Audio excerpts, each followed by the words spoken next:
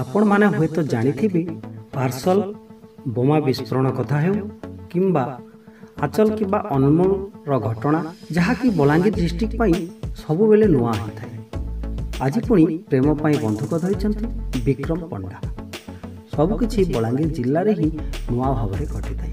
ଆଜି ଦେଖନ୍ତୁ ଫିଲ୍ମ ଟାୟାରରେ ଘଟିଯାଇଛି ବଲାଙ୍ଗୀର ଜିଲ୍ଲାର ଶାନ୍ତିପଡ଼ାରେ ଯାହା ହେଉନା କାହିଁକି ବଲାଙ୍ଗୀରରେ ଟିକେ ନୂଆ ଧରଣର ହିଁ ଘଟିଥାଏ। ତ ଫ୍ରେଣ୍ଡସ୍ ବିକ୍ରମ ପଣ୍ଡା ସେ ପ୍ରେମ ପାଇଁ କାହିଁକି ବନ୍ଧୁକ ମୁନରେ ପରିବାରକୁ ତିନି ଜଣଙ୍କୁ ବନ୍ଧକ ରଖିଥିଲେ ଆଜି ତାର ସମ୍ପୂର୍ଣ୍ଣ ବିବରଣୀ ଜାଣିବା। ତ ଫ୍ରେଣ୍ଡସ୍ କିଛି କଥା ଅଛି ଯାହାକି ଆପଣମାନଙ୍କୁ କହିପାରିବୁ ନାହିଁ କାହିଁକି ନା କିଛି ରୁଲ୍ ଅଛି ତ ଝିଅର ନାଁ କିମ୍ବା ଝିଅର ଗାଁ ଏସବୁ କହିପାରିବୁ ନାହିଁ ହେଲେ ତା ବିଷୟରେ ଅନେକ କିଛି ଆମେ କହିପାରିବୁ ଏହି ଭିଡ଼ିଓରେ। ଆପଣ ଏହି ଭିଡ଼ିଓଟି ଶେଷ ପର୍ଯ୍ୟନ୍ତ ଦେଖନ୍ତୁ। ନମସ୍କାର ମୁଁ ମନୋଜ। ଆପଣ ଦେଖୁଛନ୍ତି Manoj online solutions YouTube channel no ପଲ୍ୟୁସନ୍ସ ଅଲିଅନ୍ ସଲ୍ୟୁସନ୍ ବଲାଙ୍ଗୀର ବନ୍ଧୁକଧାରୀ ପ୍ରେମିକଙ୍କ ପ୍ରେମ କାହାଣୀ ଶୁଣିଲେ ହୁଏତ ଆପଣମାନେ ଆଶ୍ଚର୍ଯ୍ୟ ହୋଇଯିବେ। ଦିନ ଥିଲା ପନ୍ଦର ତାରିଖ। ସେହିଦିନ ସକାଳ ଆଠଟା ପଚାଶ ମିନିଟରେ ଶାନ୍ତିପଡ଼ାରେ ଅଶାନ୍ତିର ଲହର ଛୁଟି ଯାଇଥିଲା। ଫିଲ୍ମର ଦୃଶ୍ୟ ସହ ସାମଞ୍ଜସ୍ୟ ରହିଛି ବଲାଙ୍ଗୀରର ବନ୍ଧୁକଥାରୀର ପ୍ରେମିକର ପ୍ରେମ କାହାଣୀ। ସୋସିଆଲ ମିଡ଼ିଆରେ ଘୁରି ବୁଲୁଛି ଯାହାକି କବିର ସିଂ ସହିତ ସମସ୍ତେ ତୁଳନା କରୁଛନ୍ତି। ଆଉ ପ୍ରେମିକର ବାଟରେ ଯେତେବେଳେ ପରିବାର ଲୋକ ବାଧା ଦେଇଥିଲେ ଉତ୍କ୍ଷିପ୍ନ ହୋଇ ଉଠିଥିଲା ବିକ୍ରମ ପଣ୍ଡା। ଚରିତ୍ର ଫିଲ୍ମ ଷ୍ଟାଇଲ ଭଳି ବଦଳି ଯାଇଥିଲା ଚେହେରା ଓ ଭାବଭଙ୍ଗୀ। ବଲାଙ୍ଗୀରରେ ଏହି ସାଇବର କ୍ୟାମ୍ପ ଦେଇଥିଲା ଉନ୍ନତ କାଣ୍ଡ ଭିଆଇଥିବା ବିକ୍ରମ ପଣ୍ଡା।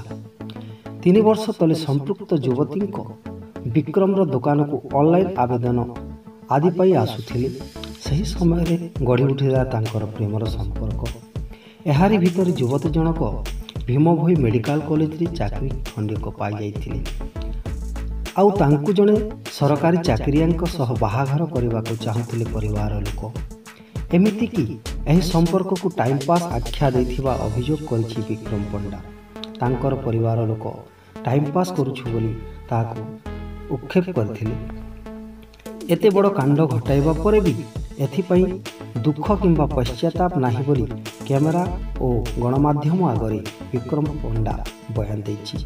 କିନ୍ତୁ ପୁରା ଘଟଣା ପଛରେ ପ୍ରେମ ହିଁ କାରଣ ବୋଲି ପୋଲିସ ସ୍ପଷ୍ଟ କରିଛି ଏବଂ କ୍ୟାମେରା ଆଗରେ ମଧ୍ୟ ବିକ୍ରମ ପଣ୍ଡା ସେ ନିଜେ କହିଛି।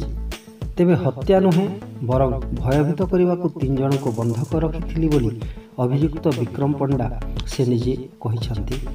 ଦୁଇଟି ମାମଲା ବିକ୍ରମ ପଣ୍ଡାଙ୍କ ନାଁରେ ରୁଜୁ ହୋଇଛି। ବଡ଼ କଥା ହେଉଛି ଅଭିଯୁକ୍ତ ବିକ୍ରମ ପଣ୍ଡା ପାଖରୁ ଜବତ ହୋଇଛି ବନ୍ଧୁକ। ତ ବନ୍ଧୁକ ସେ କେଉଁଠୁ ଆଣିଥିଲା ତାହା ଏବେ ପ୍ରଶ୍ନବାଚୀ ହେଉଛି।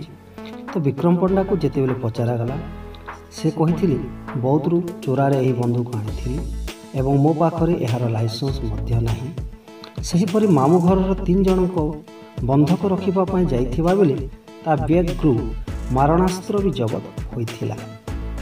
ଏହି ପାଗଳ ପ୍ରେମିକଙ୍କ କଥା ଟିକେ ଅଲଗା ପ୍ରେମରେ ହିତାହିତ ଜ୍ଞାନ ଭୁଲି ଫିଲ୍ମ ଷ୍ଟାଇଲରେ ଅପରାଧର ଯେଉଁ ବାଟଟି ଆପଣାଇ ଦେଲା ବିକ୍ରମ ପଣ୍ଡା ସେହି ଭୁଲ ବାଟ ଆଜି ତାକୁ ଜେଲର କୋଠରୀକୁ ଟାଣି ନେଇଛି ଏହି ଥିଲା ବିକ୍ରମ ପଣ୍ଡାଙ୍କ କାହାଣୀ।